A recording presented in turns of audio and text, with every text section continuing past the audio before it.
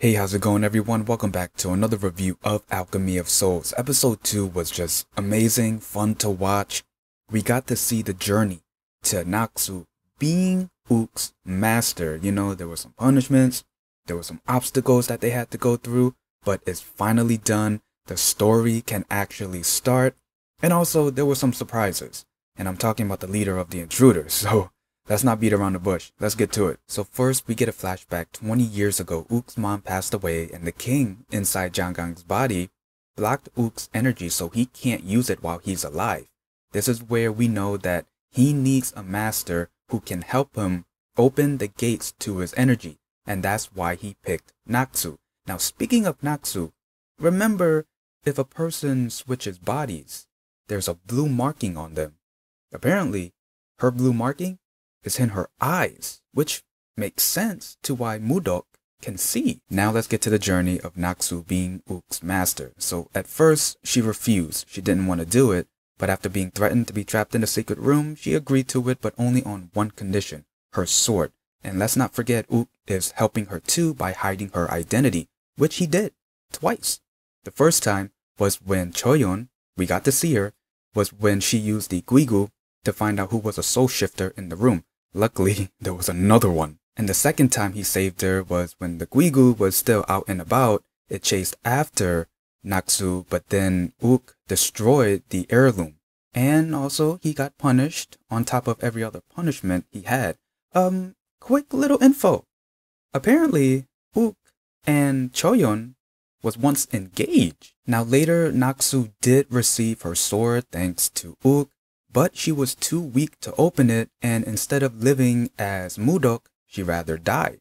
And she went to the same spot where a lot of the soul shifters who went crazy have been buried in the lake. She decided to kill herself by jumping into the lake, and out of nowhere, she was able to pull her sword, but it was only because of the energy in the lake. But then we see Naxu pretty much putting all of her chips into Uk by poisoning him only to make Master Ho and Pakjin open his gate of energy, which they did. And then Naxu got beaten because of her actions, and they both survived what they went through, and now she is his master. The amount of hell that these two went through just to help each other, well, it's only to get what they want.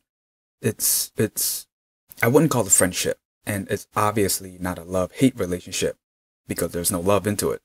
Um, it's a strong alliance. You know, that's the perfect way to say it.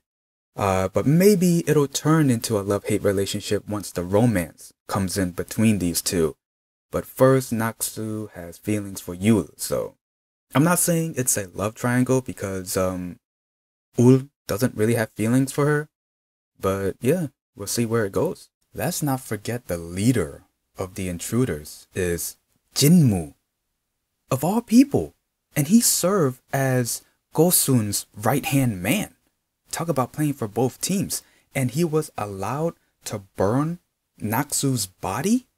Now, if Naxu and Mudok switch bodies, that means the actual Mudok is dead. And Naxu can't go back to her own body, which means she's gonna go crazy like all of the other soul shifters? I'm only asking here. So again, this episode was just fun. It was entertaining. The drama, I'm already invested. I love the story. I love the characters. Um, I still don't know what's the main plot because we have so many subplots. I mean, you got Uk trying to find a master, which he did. You got Naxu trying to get back to her body, which she can't anymore because her body is burnt. And another subplot for her to, to get her sword, which she did, but she's too weak to open it and then of course Janggang disappearing, and then Jinmu being the leader of the intruders, and then you know the whole the king and Janggang switching bodies, and that little effed up history. Um, if anybody knows what's the main main plot, please leave it in the comments. Let me know. To be honest, I don't know if there is going to be a romance between Naxu and Uk, cause Naxu well, it looks like she has feelings for Yul because her and Yul have a history. We know that because of the bird whistle. But then you also had, you know, a little thing between Uk and Choyon where these two used to be engaged. maybe there is some feelings between the two. I don't know. So the romance is still up in the air. Well, for now. And yeah, that's the gist of the episode and my review. Is there anything I might have missed? Please leave in the comments below. Other than that, if you like this video, leave a like, comment down below, and subscribe. See ya.